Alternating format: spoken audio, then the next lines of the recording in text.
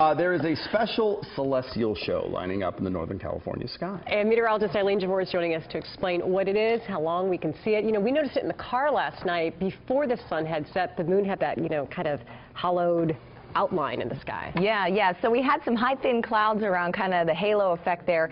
And uh, we're looking at the closest cluster of three planets we have seen in years in our skies. I just went outside our studios just a few minutes ago to take a little snapshot. You can see the live trucks there lined up in our back here. And even with the Sacramento bright lights around me, the city lights, you could easily view at least Mars and Venus, uh, excuse me, Jupiter and Venus close together, clustered in the sky. There's also Mars next to it, and you can certainly see it with the naked eye. The iPhone just doesn't do it justice. But if you step out the door in the next 15 to 20 minutes or so, and really every morning this week, you're going to be able to see Jupiter, Venus, and Mars cluster together in the sky, the closest they'll be this year. And this actually hasn't happened since 2013, and it won't happen again with three planets getting so close together and so visible in the sky. That won't happen again until 2021. So if you're out and about in the next 15, 20 minutes, maybe leaving for work, taking the kids to daycare, uh, you are going to be able to see this in the eastern sky quite visibly. You don't need any binoculars or anything. You can see it.